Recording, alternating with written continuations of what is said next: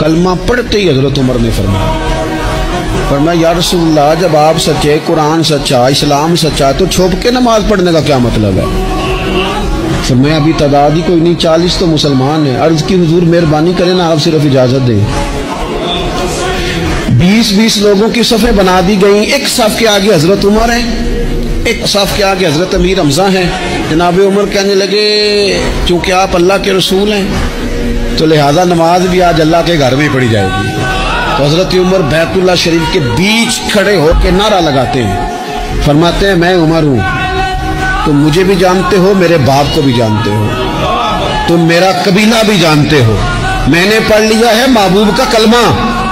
अब जिसने बच्चे यकीन कराने हो और अपनी बीवी बेवा करानी हो, वो आए और मुझे रोके। ये महबूब अल्लाह के हैं और घर भी अल्लाह का है तो नमाज़ भी आज अल्लाह के घर में पड़ी जाएगी।